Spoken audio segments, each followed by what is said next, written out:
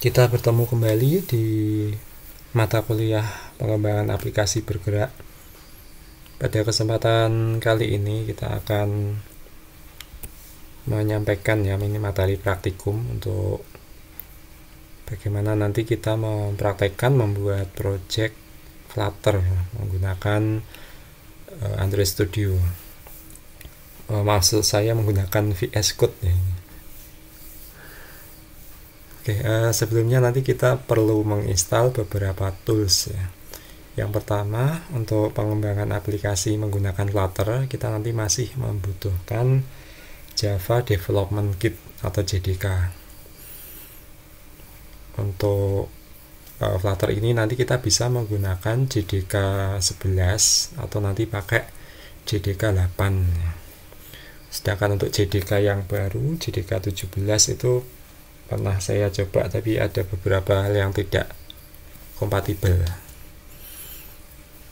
Untuk uh, instalasinya nanti silakan membuka link yang ini ya sudah saya share di grup uh, kelas. Ini nanti contohnya saya pakai JDK 11 nah, nanti uh, silakan diinstal sesuai dengan versi uh, sistem operasinya. Setelah itu nanti dilakukan beberapa konfigurasi ya. Yang perlu kita lakukan adalah memasukkan folder tempat instalasi JDK ini ke dalam environment variable. Atau kalau di Linux itu nanti memasukkan ke dalam sistem padnya agar bisa dipanggil dari uh, terminal atau command line nanti jadi uh, apa, apa itu perintah perintah JDK nya ya Oke, uh, instalasinya saya kira bisa dilakukan sendiri. Kemudian untuk memasukkan ke environment variable atau ke dalam sistem pad nanti bisa di googling ya. Bila ada kesulitan nanti silahkan menuliskan pertanyaan di grup kelas atau nanti di kolom komentar. Kalau instalasi berhasil nanti di dalam command line ini kalau pakai Linux kita nanti bisa memanggil perintah java min version nanti keluar versi java atau versi jdk yang kita install.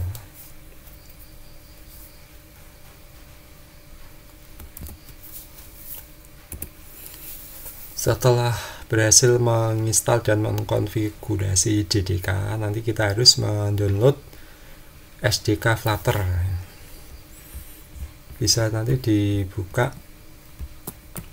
URL untuk download Flutter ya di sini.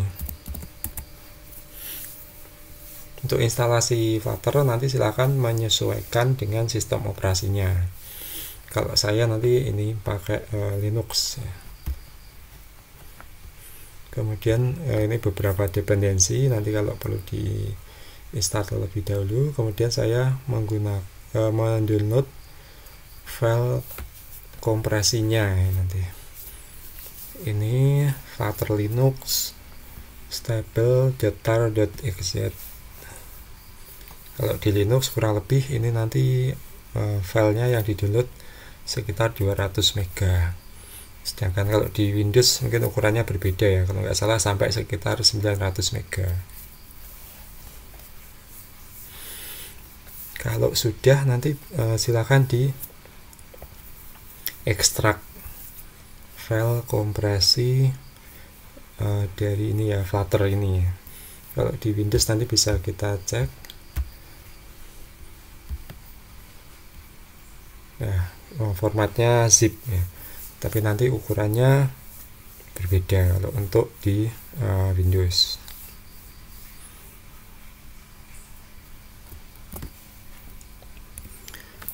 Kemudian langkah selanjutnya kita perlu menginstal IDE untuk uh, praktikum di kelas saya menggunakan VS Code ya. atau nanti kalian bisa juga menggunakan Android Studio atau IntelliJ IDEA. Untuk instalasi uh, eh, VS Code saya kira bisa dan tidak ada hal yang rumit. Kemudian nanti kita perlu menambahkan plugin ya di sini atau extension nanti silakan diinstal uh, extension Flutter dan Dart.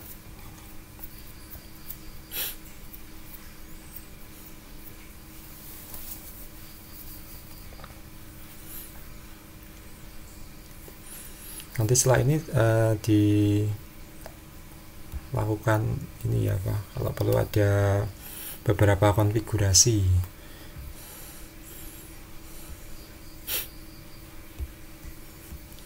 kemudian setelah uh, ini ya setelah melakukan instalasi extension kita bisa melakukan konfigurasi. Kita nanti uh, yang perlu dilakukan adalah melakukan cek apakah uh, instalasi Flutter dan komponen-komponen pendukungnya itu sudah sudah uh, selesai kita lakukan ya atau sudah komplit. Nanti uh, ini ya lewat menu view kemudian komen palet. Nah di sini nanti pilih uh, Flutter kemudian run Flutter Doctor ini. Kita nanti uh, lakukan ini eksekusi perintahnya ya. Kemudian nanti bisa kita lihat hasilnya. Nah, kalau instalasinya sudah komplit nanti ada tanda centangnya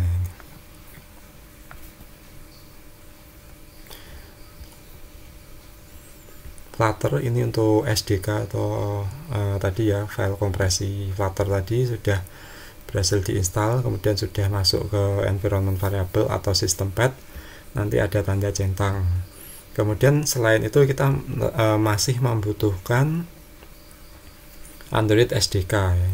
kalau Android SDK nanti belum terinstall atau belum uh, bisa dideteksi oleh VS Code nanti ada tanda silangnya.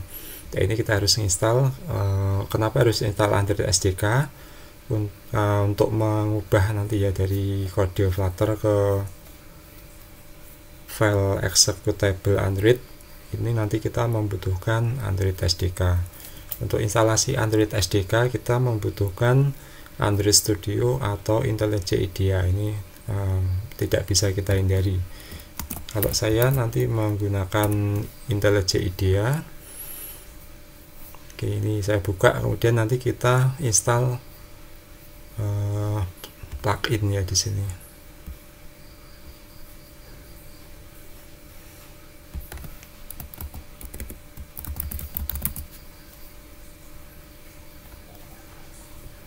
Oh, uh, tidak lewat Android sini, tapi nanti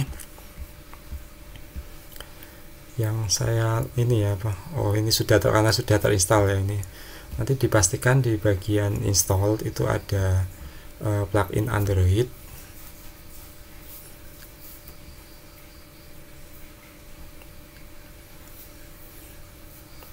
Tapi nanti uh, ini belum selesai ya. Ini kalau sudah terinstall kita perlu mendownload SDK nya kalau uh, ini yang saya lakukan adalah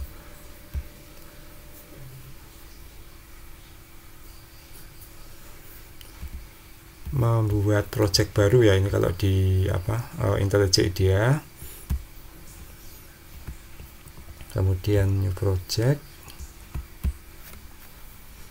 Nah ini pastikan di sini Android sudah uh, ada ya di sini. Terus kita bisa membuat project baru. Kalau Android SDK belum terinstall nanti tampilannya tidak seperti ini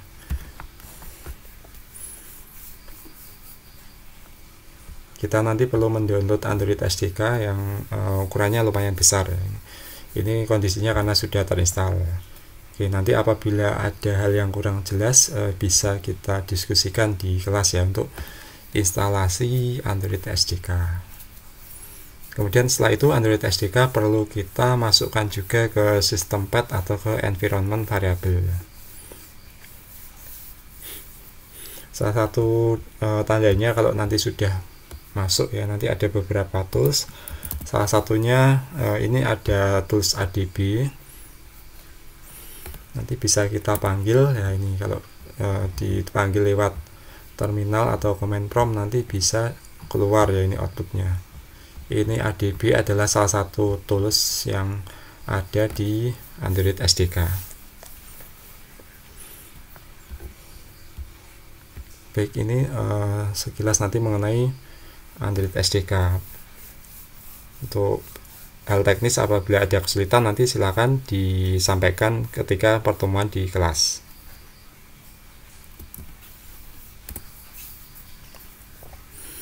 Apabila nanti sudah ya jadi instalasi SDK eh, Android tadi sudah instalasi IDE nya sudah instalasi Flutter nya sudah instalasi JDK nya sudah Eh, nanti ketika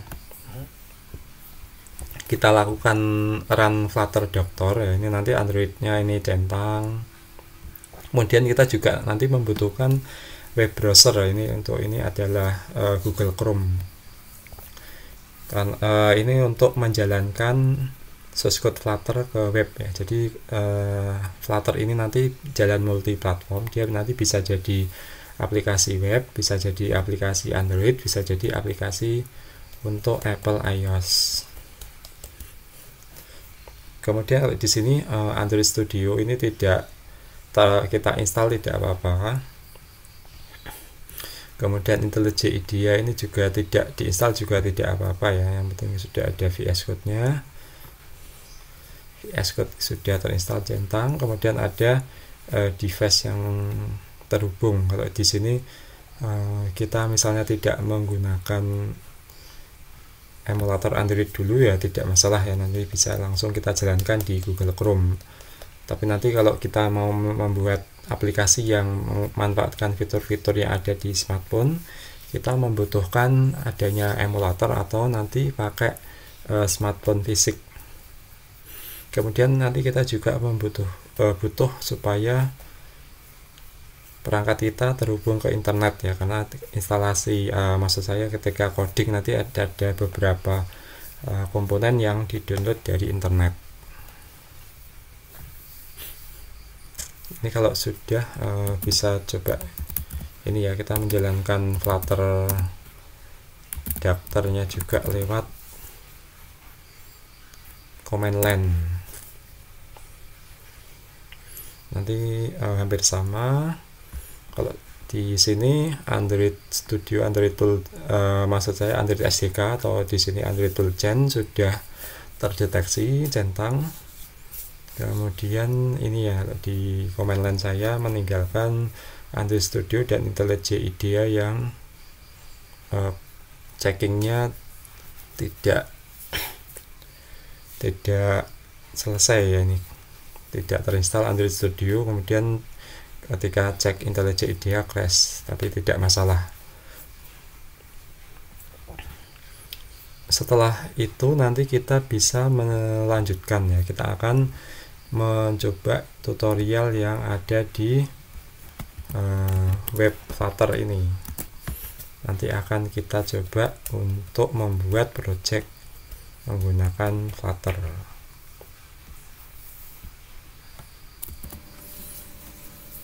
Oke, ini adalah tutorial yang nanti akan kita coba. Kita akan membuat aplikasi menggunakan Flutter. Nanti untuk source code yang dihasilkan ya nanti tolong dikumpulkan ke Google Form ya linknya. Nanti bisa diupload ke GitHub atau GitLab atau nanti kalau merasa sulit ya silahkan upload ke Google Drive. Untuk uh, link ke Google Formnya sudah saya posting di grup kelas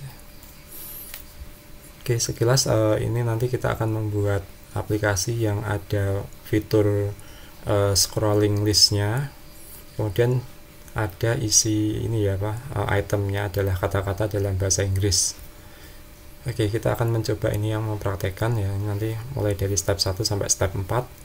nanti yang kita kumpulkan ya silahkan nanti dikumpulkan hasil dari step 4 nya saja untuk step 1 ini bagaimana kita membuat uh, project menggunakan Flutter ya ini. Nanti uh, seperti ini kita membuka IDE untuk membuat project Flutter di VS Code. Nanti silahkan menggunakan comment palette ya ini. Kemudian kita pilih uh, Flutter New Project nanti sini ada beberapa pilihan application module package plugin skeleton ya nanti kita pilih uh, application ya kemudian pilih lokasi folder tempat kita menyimpan source code-nya Oke, misalnya saya pilih di sini, kemudian kita beri nama aplikasinya, nama projectnya. Ini default saja ya nanti, tapi nanti silahkan kalau mau diberi nama yang lain. Setelah itu klik enter. Nah, nanti kita akan dibuat dibuatkan struktur project ya, kurang lebih seperti ini. Nah, uh, main.dart ini adalah source code uh, Dart yang nanti perlu kita edit ya kalau kita membuat aplikasi. Kemudian ada folder Android dan iOS. Kalau di Android ini adalah file-file yang nanti digunakan untuk mengcompile ya dari source code uh, Dart menjadi aplikasi Android. Di sini nanti ada Gradle untuk build toolnya. Kemudian kalau iOS ya nanti beberapa file yang diperlukan, file dan script yang diperlukan untuk mengcompile menjadi aplikasi iOS. Baik, uh, source code yang ini ya hasil generate dari IDE ini sudah bisa kita coba. Nanti kita bisa menjalankan, kita akan mendapatkan aplikasi uh, uh, bukan Hello World ya ini. Nanti bentuknya adalah counter ini bisa kita coba run nanti pakai menu run kemudian start debugging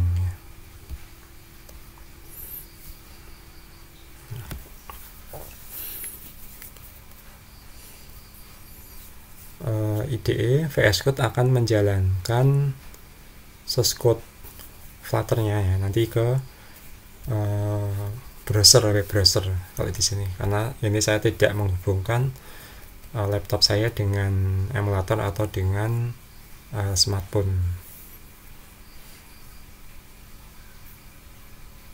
Nah ini uh, aplikasinya jalan di Google Chrome. Kalau di sini kita nanti bisa mencoba lebih cepat ya karena uh, Google Chrome ini atau web browser ini tidak seberat kalau nanti kita membuka uh, emulator. Dan nanti kita bisa mencoba run ini diklik tombol yang di bawah kemudian ini ya nilai di sini akan diupdate sesuai dengan berapa kali kita mengklik tombol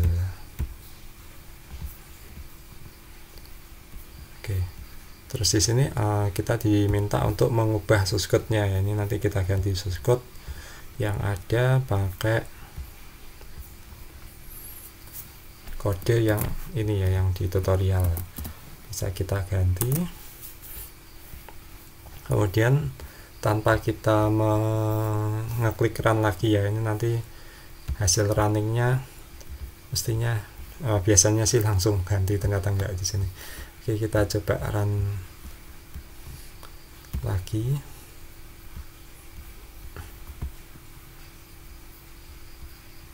Nah ini hot restartnya sudah. Nah kita nanti dapat hello world. Kalau kita perhatikan nanti kode utamanya di sini. Kita nanti perlu membuat uh, widget komponen nanti ya untuk membuat tampilan. Di sini ada title welcome to flutter. Ini nanti muncul uh, sebagai ini ya apa uh, header webnya. Kalau ini aplikasi web kemudian ada app bar. App bar ini kalau di Android nanti yang ini ya yang bagian atas warna biru. Kemudian ada uh, teks hello world. Nah, ini nanti yang dimunculkan di tengah. Oke, ini adalah step yang uh, pertama. Kita nanti akan melanjutkan ke step yang kedua. Untuk step yang kedua kita diminta untuk menginstal ada uh, semacam library. Nanti di sini istilahnya adalah external package bisa kita copy kemudian kita install menggunakan command line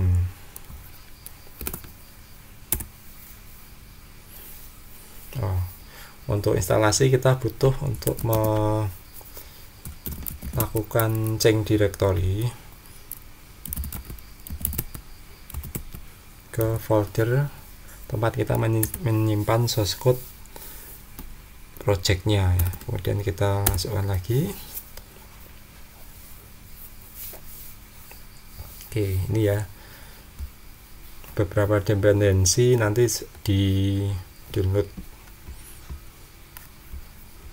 kemudian kita bisa coba cek ada file pubspec.yaml ini di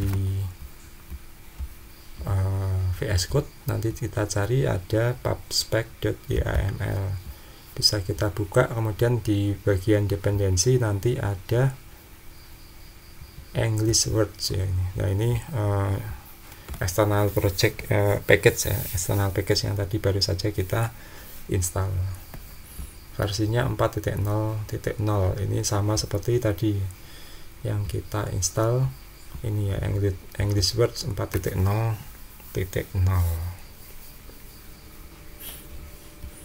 Oke, setelah itu kita lanjut.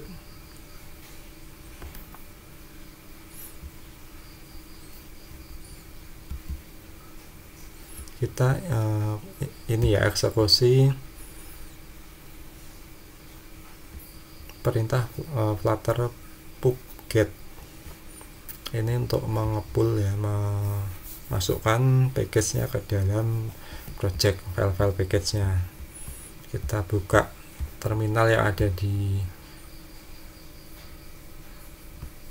apa ini yang ada di VS Code ya supaya lebih mudah. Tapi sebenarnya juga bisa tadi lewat uh, command line yang ini ya terpisah gitu. Kita pakai uh, terminal yang ada di VS Code saja kita ya ini kita eksekusi nanti outputnya kurang lebih seperti ini Oke, selanjutnya kita coba untuk menggunakan external package. Di langkah yang empat ini eh, kita mengedit file eh, main.dat-nya ya. Kita import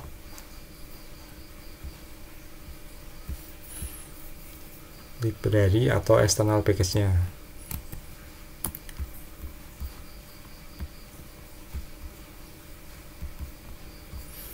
di main dot dot. Ini kita masukkan di bagian atas ya import. Setelah itu coba kita balik lagi. Kita bikin ini ya uh, konstanta ini final word pair. Kita copy masukkan ke dalam widget. Widget build uh, kom, apa itu uh, fungsi atau prosedur widget uh, build ya. Di fungsi buildnya atau metode buildnya. Kita copy terus ini kita ubah bagian body di sini. Body ini ada fonts ini kita delete kemudian bagian teks yang hello world ya ini kita ganti. Hello world jadi word pair dot s pascal case.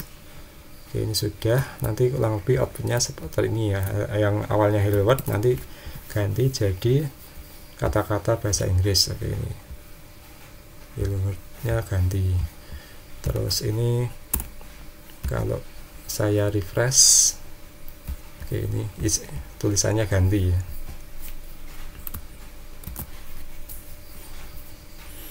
Oke kita lanjutkan. Step 3 kita mencoba untuk menggunakan stateful widget.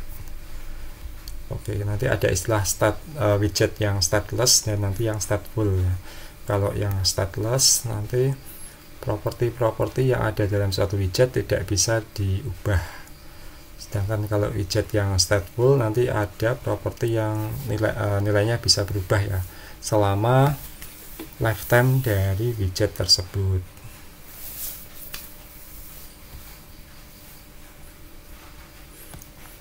Oke, kita bisa melihat Oke, ini nanti kita menambahkan kelas baru random words ya. Oke, kita uh, ini uh, untuk mencobanya nanti Oke, kita coba uh, restart aplikasi tapi sebelumnya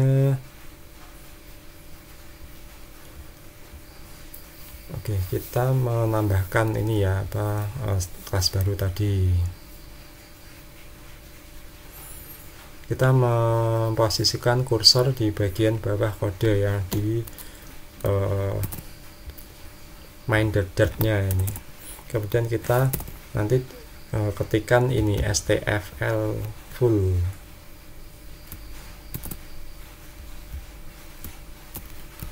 Kita coba di datnya uh, maksud saya VS Code nya STF kemudian nanti muncul beberapa pilihan ya. Ini kita pilih yang paling atas insert a stateful widget. Nah nanti kita dapat dibuatkan source code seperti ini. Terus uh, setelah ini kita memasukkan ini random words. Kita ketik random words ya. Kemudian kita ketik enter. Oh enternya nggak bisa. Kita tidak perlu uh, klik enter ya tapi langsung escape saja nah ini. Kita dapat uh, nanti hasil generate kode seperti ini.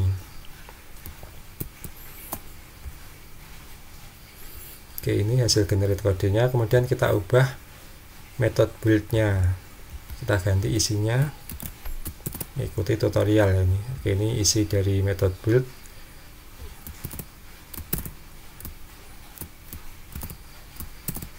ini ya yang latent container kita ganti jadi add override oh. Kita ganti semuanya ya ini uh, isi dari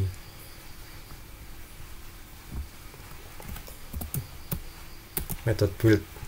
Oke sekarang seperti ininya. Terus selanjutnya kita mengganti kode yang bagian atas final word pairnya yang di bagian atas ini kita hapus. Kemudian kita diminta untuk oke bagian body centernya ini yang di kelas uh, di bagian widget ya ini. Jadi center kita tambahkan cons. Kemudian childnya ini bukan teks ya tapi kita ganti pakai random words. Oke sudah. Coba kita lihat. Oke ini hasilnya sama ya. Oke, tapi coba kita baca penjelasannya.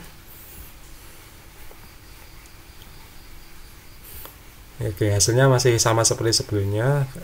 Kemudian nanti akan menampilkan tadi ya pasangan kata dalam bahasa Inggris. Ini pasangan kata dalam bahasa Inggris dua kata. Kemudian setiap kita melakukan hot reload atau menyimpan source code nanti ini dia akan diperbarui gitu. Oke, tapi ini kita belum selesai uh, step full widgetnya nanti kita gunakan untuk bagian selanjutnya ya yang step 4 Oke, yang step 4 ini kita menambahkan nanti ada scrolling list view. List view itu semacam komponen yang bisa kita scroll ya. Ada isinya kemudian nanti kita scroll secara infinite ya. Seolah-olah nanti tidak terbatas. Dia isinya karena banyak sekali jadi bisa kita scroll terus sampai banyak sekali nanti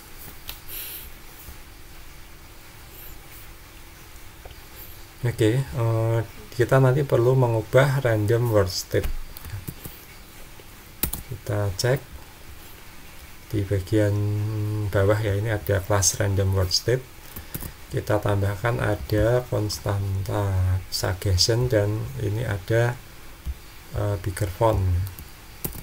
Di bagian bawah setelah kurung kurawal kita tambahkan find uh, konstanta suggestion dan bigger font kemudian kita perlu membuat list view builder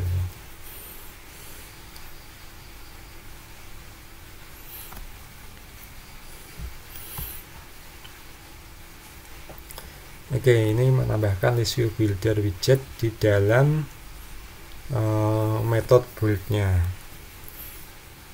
Ini kita copy saja contoh shortcutnya, terus kemudian oke ini ada uh, metode build tadi ya. Ini di bagian bawah kita masukkan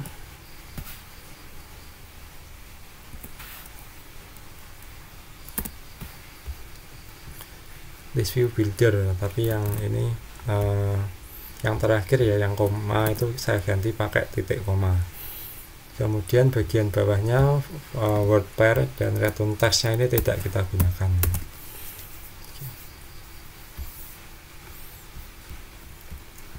kita cek lagi di tutorial. Kemudian nanti tambahkan list title di uh, item builder ya di dalam list view builder coba kita cek. Ini ada list title kemudian ada title text suggestion bigger font ya. ini sudah sama kemudian di dalam random word state class. Coba kita lihat. Ini list view builder tadi sudah masuk.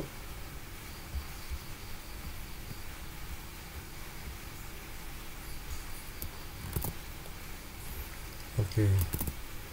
Ini kita perlu mengubah ini ya isinya. Pak sekarang ada return scaffold itu ya. Kita cek ini isi dari build ya. Oke ini belum sama. Oke, kita copy saja yang ini ya yang di highlight warna hijau. Kita masukkan ke dalam metode build.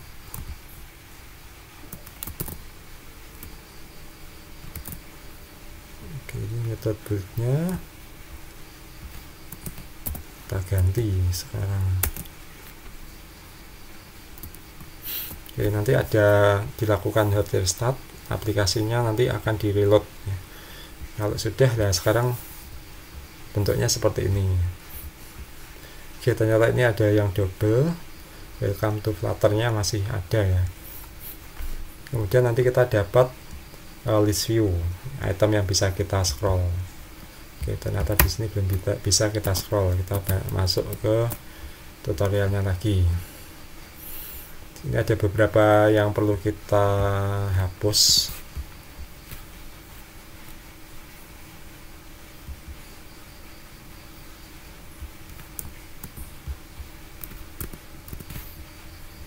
Di dalam uh, my app atau coba kita cek ya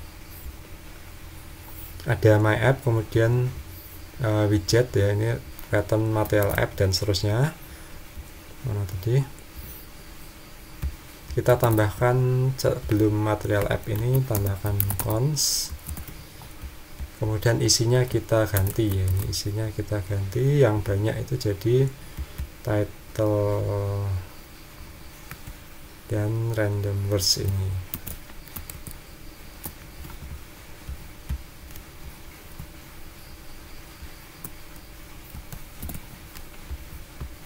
oke yang 18 ini nom nah apa nomor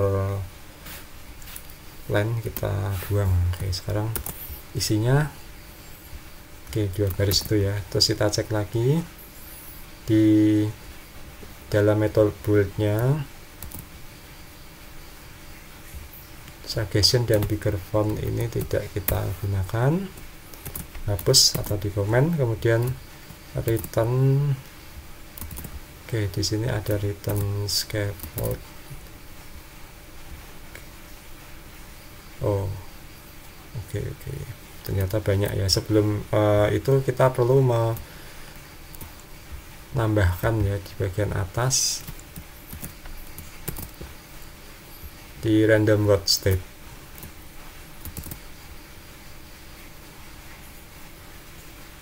Oh ini sudah ini sudah yang random state ya. Yang cons material apps tadi. Oke, jadi ini saya pakai lagi di uh, buildnya ini ya random word state. Yang tadi uh, kita biarkan dulu. Uh, saya ke my app lagi ini saya ulang. Yang my app ini material app return cons material material app kemudian ada title dan home. Ya ini titlenya startup name generator kemudian home nya random words. Oke, ini sudah terus kemudian kita cek ya ini. Ini kalau sudah sama nanti kita tidak perlu ubah. Di kelas random word state yang ada underscore. Oke.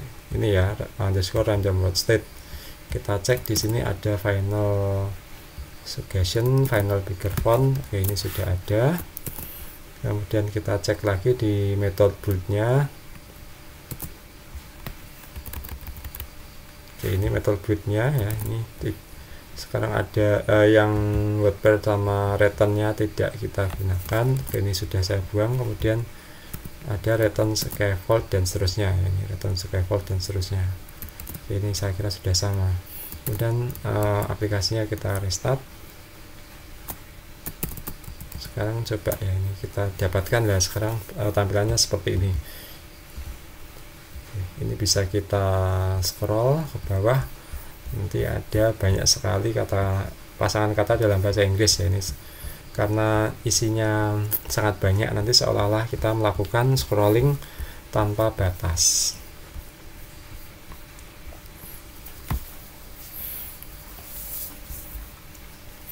Oke, aplikasi ini bisa juga nanti kita running ke perangkat mobile ya. Kalau ini nanti saya menggunakan emulator. Untuk emulator saya pakai Genymotion oke saya pakai IPA 21 ya ini. Android versi 5 kalau tidak salah. Oke, kita start. Terus nanti kita tunggu sampai uh, virtual device ini ya emulatornya selesai jalan selesai melakukan startup untuk menjalankan aplikasi atau source code Flutter di emulator atau e, perangkat smartphone nanti agak lebih lama dibanding kalau kita running di e, web browser ya. Untuk menjalankan kode Flutter di emulator Android saya pakai perintah Flutter spasi run Oke, nanti kita akan menjalankan kode Flutter di emulator Android tapi untuk prosesnya ini agak lebih lama Oke, uh, setelah menunggu nanti kita mendapatkan ini ya tampilan aplikasi yang running di emulator. Nah, ini nanti sama seperti di web browser ya bentuknya. Tapi sekarang ini jalan di uh, emulator Android.